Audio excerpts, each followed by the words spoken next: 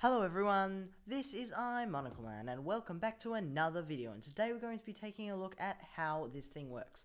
Now, if you do not know what this thing is, this is my 4-digit combination lock, and as you can see, it has the 4 digits up, up here, 4 digits up here, as you can see, displayed on a 7 segment display. And the way this works is basically, you press the button, the code is 5394, the 5 will appear there, now I press 3, 5 will move over to there, and the 3 will appear there, then I press 9, and uh, and then after that I'll press 4, and then these doors will open in a few seconds. As you can see there, you can walk in inside, pick up your insane axes, which you really, really want to keep away from, from your enemies. So then you're just gonna go out there and press the reset button. And of course, the good thing about this combination lock is even if you do get the combination wrong, like say you write 5 and then instead of 3 you press 9 instead, um, as you can see, I'll just do this here. If you get the combination wrong, you can just press the reset button and everything gets reset, so you don't have to worry about a thing. So today we're going to be taking a look at the redstone behind this. Now, I know I showed this in my previous video, but I didn't explain it. Also, just to let, just to warn you, if you if you are not very interested in this stuff, I don't suggest you watch because it does get very, very confusing and difficult to understand. So, but if you are interested, please stick around because this will be your cup of tea. So for our first explanation, we're going to be taking a look at the button panel. Now, if we take a look around the back, you can see that the button panel is just our traditional um, signal strength button panel. Now, as you can see, basically, if you don't, for those who don't know what that is, it basically is a button panel that gives a certain signal strength depending on what which button is pressed. For example, if you were to press button 5, then um, a signal strength of 5 would out, would be outputted. If you were to press button 9, then a signal strength of 9 would be outputted. Um, 1, 2, 3, it's also pretty self-explanatory. So yeah, that's pretty self-explanatory. So yeah, I'll just continue. So over here, it leads into this green circuit, and basically what this does is this transports the, oh, the pink circuit's getting in the way. The green circuit just transports this signal strength over here to the signal strength storage array, which I believe this design was created by Crafty Masterman. Link to his channel will be down in the description. Basically, what this does is it stores a certain signal strength. So, say button 5 is pressed, then the signal strength of 5 will be stored in this set of comparators over here. Now, I know it looks like a pulse extender, but trust me, it's not.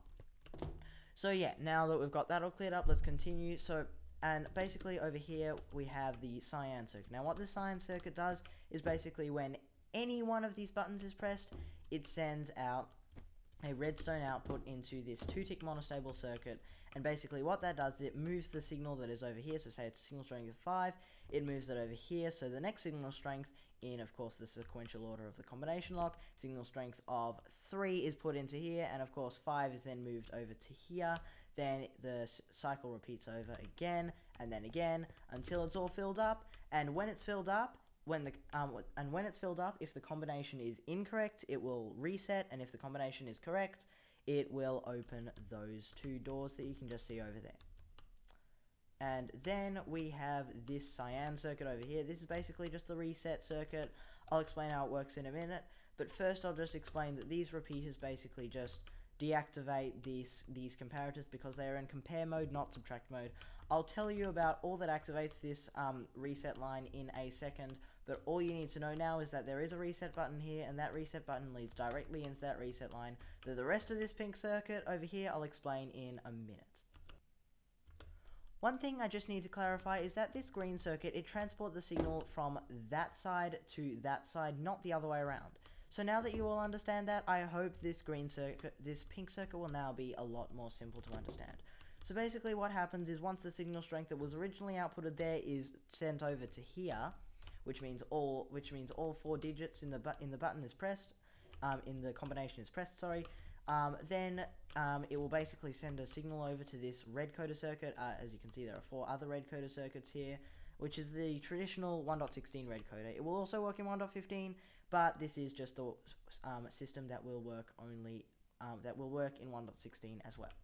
Basically what this does is this little, this line of the pink circuit, this one and this one are actually two different circuits. For, for example, this one it detects when to activate the reset line. So basically, it won't reset the system every time a button is pressed because then it just you wouldn't get the combination if because if five was over here and it's meant to be here, then the signal will just automatically reset. So we can't. So what we have to do is we have to make it so it doesn't reset until all four digits of the combination are in place, and only then it might reset.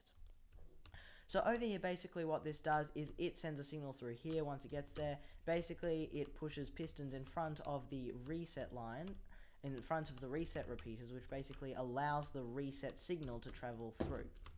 And as you can see, we don't need one over here because over there, well, it's already there. You don't need you don't need a piston to tell it when it can when it's allowed to because it's it's allowed to it can when that can.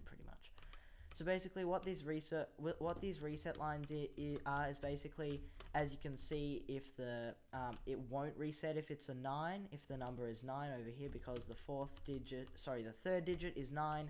So basically, it will send a it will only send a signal through that if one of these is, if any of these are on except the 9. Same with all the others, pretty much. Basically, they get sent along this pink circuit down here into the cyan reset line, as you can see over there, and basically that is how the circuit is reset. But of course, then you be, might, might be wondering, how on earth is the combination calculated? So over here we have a line uh, of redstone over here that leads out from this torch over here. Now this torch is one, two, three, four, five blocks away, meaning it will only turn on if the signal strength given at the end is 5. And when the signal strength given at the end is, and only if the signal strength is 5, it, that the signal strength leading into that particular red coder is 5, then this torch will turn off, allowing this torch to, turn, torch to turn on. But this torch will only turn on if both 5 and 3 uh, um, are deactivated. Now, as you can see, we don't need another inverter here because this is automatically inverted from this. We could probably do the same on the other side, but, you know, it doesn't really matter, and get rid of this torch as well. But yeah, so basically what happens is this is an OR gate, so that or that, if either of those are on, then of course it won't give an output.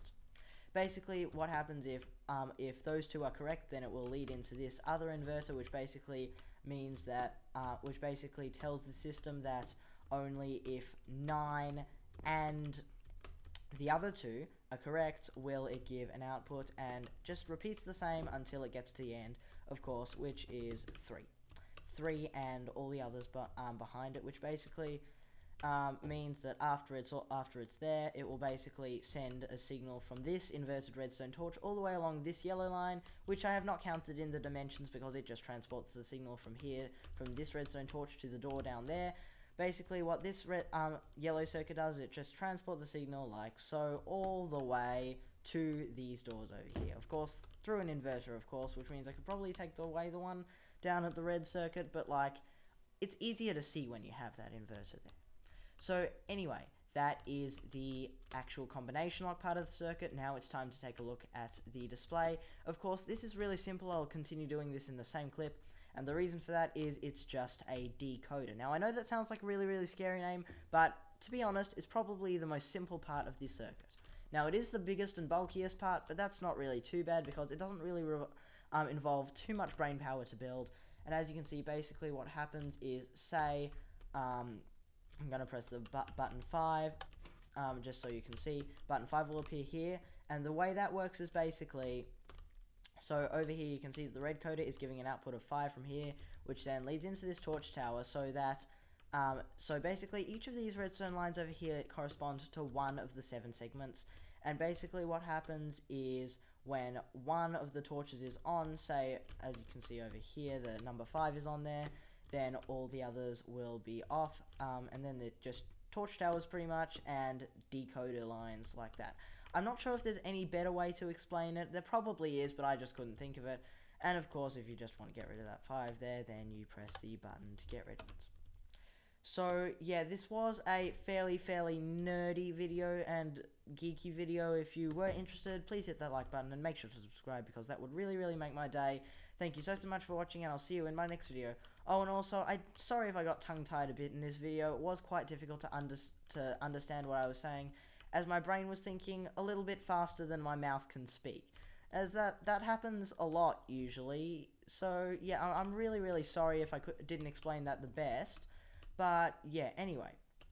So there will be a world download in the description if I do remember, and I'll also put a link to the original showcase um, as well. So if you if you enjoyed this video, please hit that like button and make sure to subscribe because many many hours have gone into this lovely redstone project.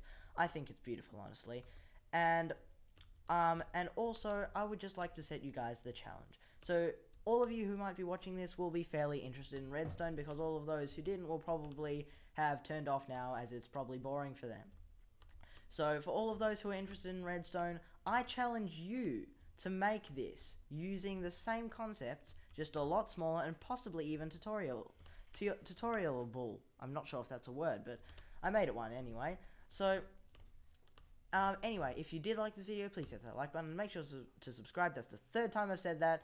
Thank you so, so much for watching, and I'll see you in my next video. Bye!